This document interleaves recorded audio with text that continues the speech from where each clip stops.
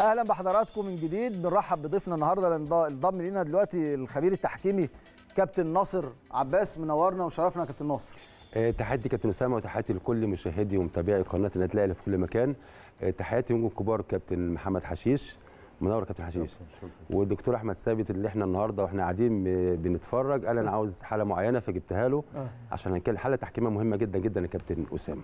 قبل ما حضرتك تستعرض الحالات دلوقتي يا كابتن ناصر شايف الحالة النهارده إن إحنا بنعمل مباراة للناشئين عاملين استوديو تحليلي وأيضا كمان فقرة تحكيمية مهمة فيها. تمام. خلينا بس نبارك للنادي الأهلي. آه. مبروك على الفوز والأداء والنتيجة. آه، هارد لك لنادي الزمالك. أنا شخصيا استمتعت كابتن أسامة النهارده بالأداء الجميل جدا جدا النهارده اللي إحنا شفناه. كرة قدم حقيقية فرص وتمركز وتحرك وكل حاجة كانت موجودة النهارده. روح طيبه ما بين الفريقين. آه، مباراة رائعة جدا جدا اداء ولعبا ونتيجة وتحكيما أيضا كابتن أسامة كان التحكيم موجود النهارده وكان حاضر. آه، النهارده صوت التحليل كابتن كل الناس كلها بتتابع كابتن دكتور أحمد. النهارده كل الناس بتتابع الاستوديو التحليلي والنهاردة قناة النادي الأهلي بتدي آه، يعني إيه ده وبس مباشر كمان على صفحة القناة. بالظبط درس مجاني كمان تحكيم يا كابتن أسامة. خلينا النهارده النهارده قناة الأهلي السباقه النهارده في إن هي توصل كمان إيه هو كل ما هو جديد في التحكيم.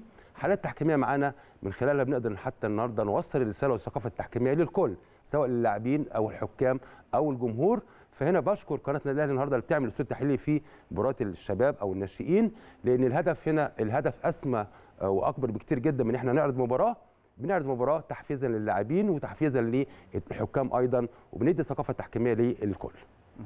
آه، آه، النهارده كابتن آه، آه، أسامة طاقم تحكيم آه، مكون من طارق مجدي وحكم كبير جدا جدا على فكرة من الحكام المتميزين. كان النهارده حكم مساعد رائع جدا جدا كابتن هو آه، خالد حسام طه وهو والده الكابتن احمد حسام طه اللي هو الحكم الدولي وشقيق أحمد حسام الحكم الدولي أيضا آه، آه، عيلة كلها تحكيم. كان رائع جدا النهارده خالد ورائع في حالة مهمة جدا جدا كابتن يمكن هي في الهدف الأول. كان تركيز وتمركز والكرة عبرت خط المرمى فكان خالد النهارده كان رائع. أيضا كان آه، عبد العزيز عبد المحسن الحكم المساعد رقم اثنين كلهم النهارده أدوا مباراة بشكل جيد. خلينا نروح للحالات ونشوف من خلال الحالات التحكيمية كابتن أسامة عشان نقول إيه الدنيا أول كانت حالة معانا دي. آه، دي الحالة يا كابتن آه، يعني هرجع بس كده تاني. ده الهدف. تسمح لي. تسمح لي تسمح لي. هنا يمكن هنا كانت قبليها الكرة لم تعبر تماما خط التماس. يعني ودي كانت مهمة جدا ليه؟ عشان نقول إن هي بتعبر يا كابتن أسامة تعبر بكاملها خط التماس أو خط المرمى. هنا كان خالد حسام طه مركز جدا وخلى اللعب يتواصل. نشوف بقى الحالة الثانية اللي هو ربط كويس قوي قوي مع طارق مجدي فيها. كرة على طول أول ما عبرت بص طارق هقف. هرجع لطارق هنا. أول ما عبرت خط المرمى بين القائمين وتحت عارضة كان طارق باصص لمين؟ آه، آه، لخالد حسام طه هنبص هيلف هو على يمينه كده هيلف على يمينه ويبص على خالد لأن ديت لعبة خالد مش لعبة طارق يا كابتن آه، أسامة. آه. دي لعبة خالد اللي هي مساعد رقم آه، واحد. آه هي دخلت بكاملها ولكن هي ساعة ما عبرت كان القرار موجود باحتساب الهدف. دي الحالة اللي كانت الأولى, الأولى معانا. نروح للحالة الثانية وهنا طارق مجدي هنا هنا في مخالفة تستوجب إن اللعب يقف ولكن هو شاف إن خلي الأفضلية وادى ال- ال- الفرصة ورجع تاني أشهر البطاقه الصفراء. وهنا الإنذار هنا إنذار صحيح. وبالتالي هو سمح باستمرار اللعب ورجع ادى البطاقة. وده طبقا للقانون هو ده الأفضل بالنسبة لأي حكم يخلي اللعب يتواصل ويأخر إشهار البطاقة في آه، توقف اللعب. الحالة اللي بعد كده آه، نشوف الحالة اللي جاية ديت ودي حالة بردك بنقولها لكل ناشئينا وشبابنا مش بس لاعب الزمالك. نشوف هنا اللاعب تصرف الزمالك هنا بنقول له آه، لا يجب إنك أنت كلاعب في السن اللي هو دوت يعني آه، يبقى سلوك غير رياضي بتاخد انذار. هنشوف الحالة. هو هنا اللاعب. علشان اللعيبة تتعلم. الاعتراض. مش هنا الأهلي اعتراض. بس أهلي وزمالك وكل الناشئين كده. من النادي خبير الأهلي تحكيمي كبير زي كابتن ناصر عباس. الاستديو النهارده بنقول بنوصل رسالة. لكل اللاعبين أنت خدت انذار مجاني. آه. آه. ممكن في المباراة تاخد انذار الثاني وتطلع. فهذا الحدث مش هيجيب معاك أي نتيجة إنك أنت تاخد البطاقة. فأنت في غنى إنك أنت تعترض سواء بالقول أو بالفعل أو بأي تصرف آه، يعني يعني يعني يدل انك انت آه، عملت الشيء بسلوك غير رياضي. هنا طارق طبعا أشهر البطاقه مباشرة. نروح للحالة اللي بعد كده ونشوف هنا آه، بس هي يمكن الدكتور أحمد هنا طلب الحالة دي. ستوب. طلبها. حالة جميلة جدا جدا جدا. بنقول المدى 12 بتقول إيه يا كابتن؟ هو عندما يعني آه، منع اللاعب المنافس آه، حارس المرمى من لعب الكرة أو القدرة على لعبها. هنا هو منع. آه منع. هقف بس هرجع. حاجتين ممكن أدي فيهم انذار يا كابتن. نقف بس لحظة ان اللاعب الزمالك نمشي هنمشي بقى شوية. هنمشي شوية. الدفع هنا. واقف بس stop ارجع تاني بس يعني بس. هو دكتور أحمد كان بيقول يا كابتن طب لو في هجوم واعد. ما هنا قلت له برافو. برافو. صح؟ هنا في حالتين يا كابتن هدي فيهم بطاقة. لو أنا النهارده كحارس مرمى عندي الإمكانية ان عندي لاعب من آه، زمايلي في نص الملعب وممكن يروح يجيب جون حد إنذار؟ تعطيل الهجوم واعد. آه. أو الدخول بتهور يعني رجل ديت راحت رايحة في رجل حارس آه، النادي الأهلي هو عمر. كامل هنشوف نمشي بقى شوف هنمشي. هنا هو يا دوبك هو عمل إيه؟ عطل وثم نمشي بقى. ركل الكرة من آه، آه، حارس المرمى. هو منع الحارس هنا من إطلاق الكرة هنا. آه، ركلة حرة غير مباشرة. إمتى أدي إنذار؟ لو كان هنا كابتن حشيش. اللاعب هنا دخل بالستارز في حارس المرمى أو كان تعطيل هجوم آه، واعد. الحالة اللي بعد كده. آه، حالة من الحالات مهمه كابتن وعايز أشوف هنا هنقف. stop. أرجع تاني. شوف هنا التمرير واللاعب النادي الأهلي جاي من موقف سليم تماما يا كابتن. هدف تسلل. عالمي يعني هدف عالمي كابتن أسامة. ولو الزاوية مفتوحة شوية كانت تبقى واضحة أكتر من كده. هنا الموقف سليم. لاعب النادي الأهلي النهارده متغطي بمدافع الزمالك. ثم التسديد هنا. لحظة التسديد يا كابتن هنا أنا بحاسب هنا إيه؟ هل في تسلل ولا لأ؟ آه. شوف هنا اللاعب هنا رقم آه، ستة. كان في موقف سليم لحظة التسديد. البعض يقول إيه؟ هنا أو ستوب البعض يقول هنا اللاعب كان في موقف تسلل. لأ أنا بحاسب على لحظة التسديد من الأول كان في موقف سليم وبالتالي هنا هدف سليم للنادي آه، الأهلي. الحالة بعد كده. شوف آه، حالة من الحالات المهمة. وطارق مجدي وهل هناك ركلة جزاء؟ نرجع نشوف. هنا. خلي بالك هرجع للحالة تاني. ال live. نمشي نمشي نمشي نمشي نمشي هروح لحكم المباراه يلا خلينا نروح خلينا نروح. أيوه. كمان نكمل. نكمل نكمل. بس نجيب بس stop stop, stop. هنا طارق مجدي كابتن هنا بإيه؟ تقريبا 8 9 متر. مم. بيقول مفيش أي مخالفة. بإيديه. يعني هنا عنده القرار وواثق جدا جدا جدا إن لا يوجد هناك مخالفة ركلة الجزاء قريب من اللعبة جدا وقريب. ده بيديني أنا كمحلل أو كمشاهد. إن الحكم قريب وعنده زاوية الرؤية الواضحة وعنده القرار وعنده الشجاعة وعنده الشخصية التحكيمية. دي بيخليني أنا قبل ما أشوف اللعبة بقول إن القرار ده بنسبة كبيرة قرار كان صحيح. نشوف الحالة معانا كابتن أسامة هنا.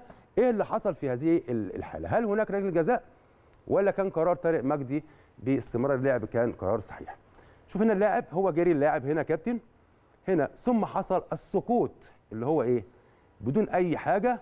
وبعدين النادي الأهلي النهارده لاعب النادي الأهلي مازن. بطريقة أحمد. متميزة. آه. يعني بص يا كابتن هنا خلي بالك ال timing والتوقيت. اللاعب يعني هنا في risk, risk على نفسه إن هو ممكن إيه لو ما خدش الكورة هياخد الرجل. آه. ولكن هنا شوف ال time بتاع اللاعب وشوف قدرته وتركيزه اللي هو حط واستخلص الكره وبالتالي هنا كان قرار آه، رائع من طارق مجدي باستمرار اللعب. لا يوجد ركلة جزاء هنا لصالح نادي الزمالك. آه، في حالة آه، اللي جاية. شوف هنا. طبعا إحنا قلنا حارس المرمى. دي ركلة الجزاء آه لنادي ركلة الزمالك. جزاء يعني طالما أنا ما خدتش الكرة وبعدين أنا ارتكبت خطأ بإهمال وبالتالي هنا نشوف هنا الحارس هنا. الكرة لم ينجح في لعب الكرة وبالتالي هنا كان في آه، الإيد راحت في وجه لاعب نادي الزمالك. ركلة جزاء طبعا آه، سهلة جدا جدا احتسبها لم يتردد فيها. الرائع هنا كابتن إيه؟ دكتور أحمد آه، كابتن حشيش حارس المرمى. وده زي ما أنتوا قلتوا مش مش هضيف عنده القدرة الكبيرة جدا حكم حارس كبير يا كابتن دكتور أحمد. لما هو أثناء التنفيذ بيحط رجل على الخط طبقا للقانون عشان ما إيه الحكم ما يعيش. وبالتالي هنا راح وصد ال- الكورة ودي كانت آخر آه، حالة معانا. آه، طاقم التحكيم بالكامل النهارده قدم مباراة طيبة في هذه آه، المباراة. وعاجبني كمان أكتر الروح الحلوة ما بين لعيبة الأهلي وبين لعيبة الزمالك برغم هزيمة الزمالك. وكمان الكابتن طارق مجدي سهل المباراة وما شفناش أي اعتراضات خارجية من خارج الخطوط أو من داخل آه، الملعب. كابتن ناصر ما ينفعش تكون معانا وما نسألكش عن طاقم التحكيم غدا. مباراة الأهلي وفاق سطيف آه، الطاقم التو- التونسي آه، الصادق السلمي. آه. رأيك في طاقم التحكيم بكرة؟ آه، كابتن أسامة هو صادق السلمي هو حكم تونسي.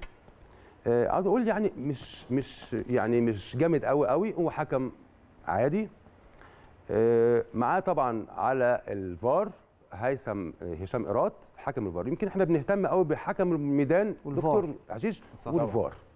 أنا بس هقول حاجة مهمة جدا رسالة ليك يا صادق. إنك أنت لا تتأثر يعني يعني دايما إحنا عندنا مشكلة في الحكام في أفريقيا كابتن أسامة يتأثروا بالجمهور. بالأرض بالظروف المحيطة بالمباراة. فأنا بقول له يعني أنت حظك حلو يعني النتيجه كويسة.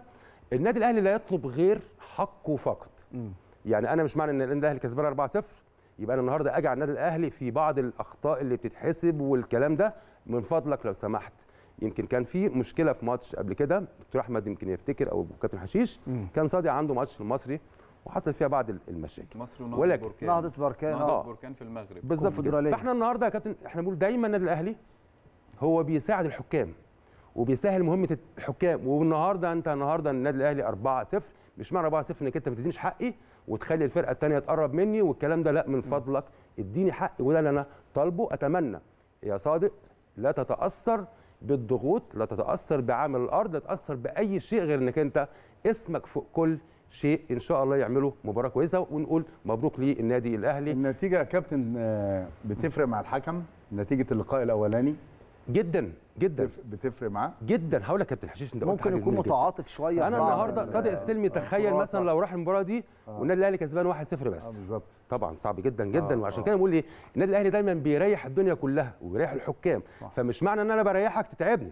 بالظبط. لا أنا بطلب حقي بطلب العدالة التحكيمية بطلب الحماية داخل ميدان اللعب. ده اللي إحنا يعني إن شاء الله ننتظره. مفيش ضغط عليك. بالظبط كده. يعني ننتظرك. يا صادق بكره بس بكرة في حضور لاسمك كبير. طبعاً. لاسمك الكبير وللتحكيم التونسي. نتمنى إن إحنا نقول لك مبروك يا صادق بكرة ونبارك. للنادي الأهلي إن شاء الله للصعود للمباراة النهائيه شرفتنا ونورتنا يا كابتن ناصر كالعادة ودايما بتمتعنا. سعيد بيك كابتن أسامة جدا جدا على الاستوديو وقناة النادي الأهلي وضيوفك الكرام.